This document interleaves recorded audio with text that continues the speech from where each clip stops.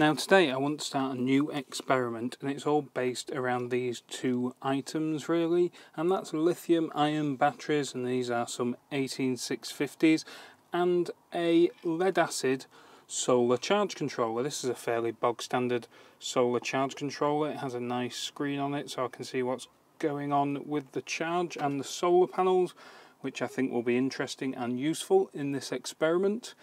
But why do I want to attach 18650 lithium ion batteries to a solar charge controller designed for lead acid? Lead acid batteries uh, can give off gases, this one shouldn't, it's a sealed AGM type, but many do. Um, they're also pretty big and pretty heavy, and the uh, 18650s are considerably smaller, and three in series like this at full uh, voltage, at full charge, will give 12.6 volts. And with 2 amp hours in each battery well in series that's 2 amp hours um, in total times 12.6 volts is uh, 24 watts. And you can soon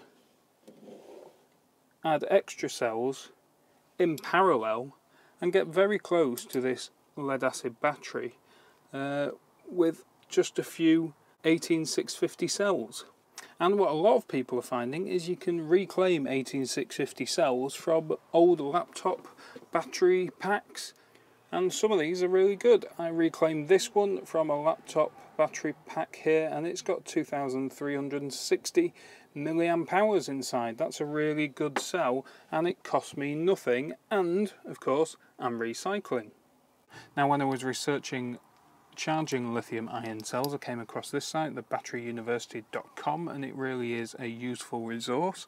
And one of the things it mentions that uh, how to prolong lithium-based battery life. Well, if you charge to their full capacity of 4.2 volts, well, you're likely to only get 300 to 500 discharge cycles.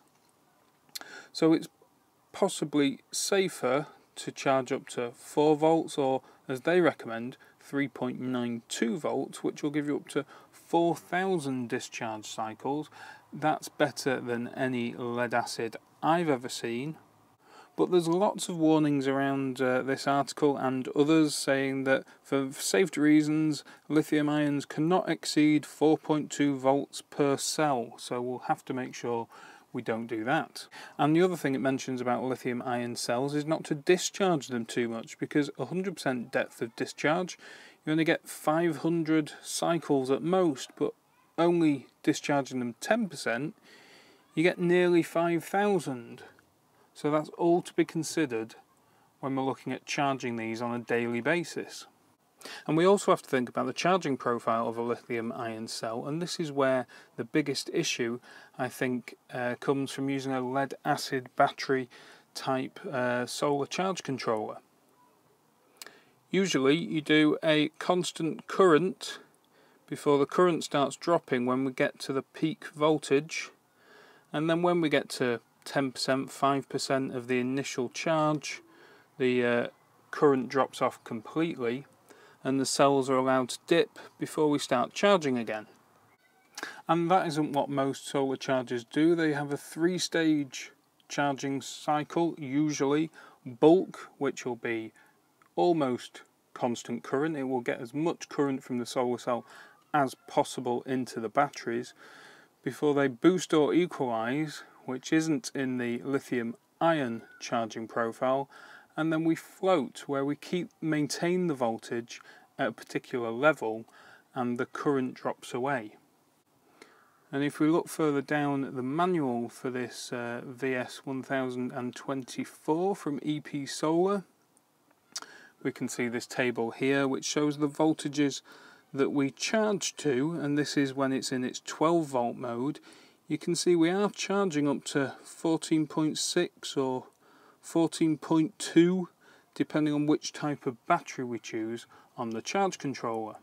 So we need to think very carefully how many lithium ion batteries we need in series for this voltage range from 11.1 volts at the lowest point and 14.2 volts for example on a gel battery setting. So I've been trying to do some maths. One pack, one cell in series, well, its lowest voltage I'm going to take it to is 3 volts and its maximum is 4.2. I remember the Battery University suggested 3.92 volts per cell was the best and the optimal. Um, well, if you look at this, 4 in series, well, that's 12 volts to 16.8 volts. That looks fairly compatible with what we saw on the EP Solar manual just then. 3 in series, 9 to 12.6 volts. Well, it's there in the ballpark somewhere, but not quite right, is it?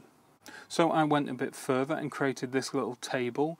Uh, in this column here, we've got the 3S pack, if we're looking at 12 volt systems, and on this column here, we've got the 4S pack, and in the middle is the EP Solar charging range. It goes from just over 11 volts to a little bit over 14.2 and 3S pack well that goes from 9 volts to 12 volts and the 4S pack goes from 12 and a half volts ish to uh, over 16 volts but as you can see these three aren't compatible if we use a 4S pack we'll only be using the last part of the charge in the cells and in fact the EP Solar charge controller might take them below this critical 3 volts per cell level. And if we use a 3S pack, 3 in series, well again it's going to overcharge the batteries over 12 volts, 12.6 volts, and potentially we've got ourselves another issue. So unfortunately here in the solar shed I'm going to have to succumb to the idea that a 24 volt system works much better with a standard solar charge controller.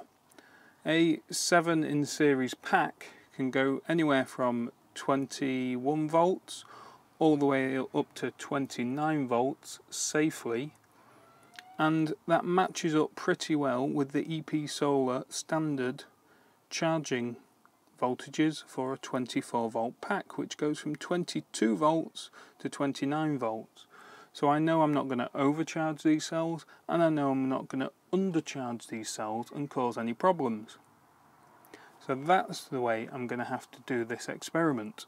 So with all that in mind, here's the plan. I'm going to use this standard solar charge controller, the one with the screen so I can see what the overall battery voltage is, how much current is coming from the solar panel into those batteries, all that type of thing. And I'm going to use seven lithium 18650s uh, in series to get uh, that 24 volt type pack. Uh, they're currently all connected in parallel to make sure all these cells are completely balanced. All the voltages are absolutely the same. Um, so hopefully that will give the best start to my pack.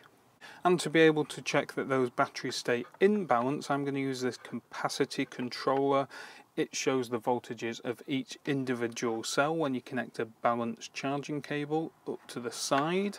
So that will allow me to see the overall voltage and each individual cell's voltage. And hopefully with all this monitoring equipment, I'll keep my brand new 18650s nice and safe.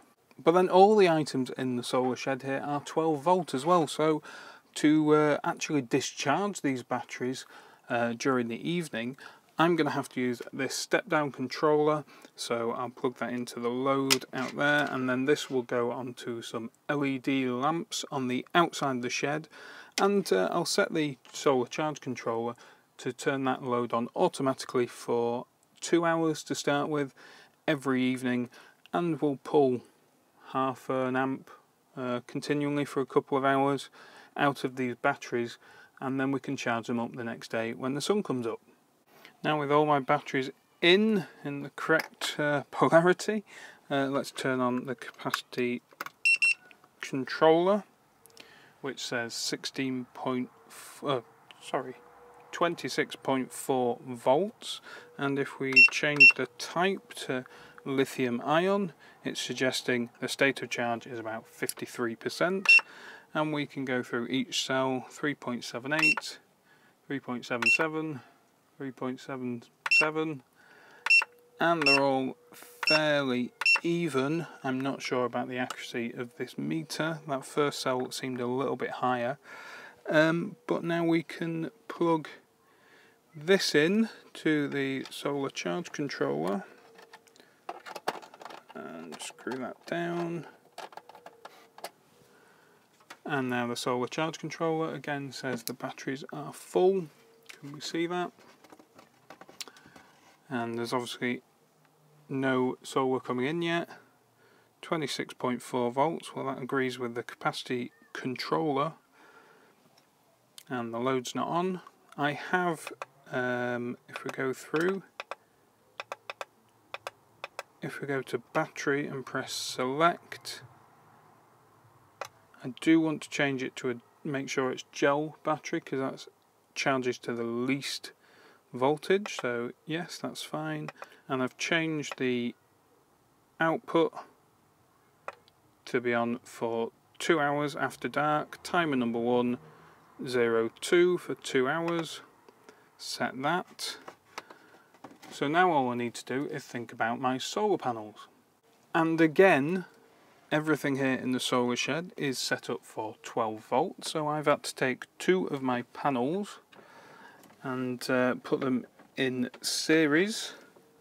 So we've got a negative here and a positive here and we can plug this in and uh, see the initial charge so we'll plug in what is now a 24 volt solar panel. Screw that in. And we should be able to see on here that the photovoltaic is 40 volts at the moment. It's obviously not charging from it. There it comes down to 27 volts similar to the uh, battery voltage and we can see we're drawing 1.4 amps and charging those 18650s at just under one and a half amps. Uh, so the battery voltage is rising and that's confirmed by the capacity controller. So I'll connect my load now. The load isn't on at the moment because the sun hasn't gone down but that's ready now for when it is and I'll just mount that up there somewhere and although there's wires everywhere I think this test rig will be quite interesting so the only thing left to do now is mount this board on the side of the shed um, so I can monitor it and free up my bench. So I'll get back to you in a couple of weeks and tell you how things have been going and uh, hopefully there'll be no accidents to report or anything like that in the meantime. So hopefully you've enjoyed this video. If you did give me a thumbs up subscribe down below and I'll see you next time. Thanks for watching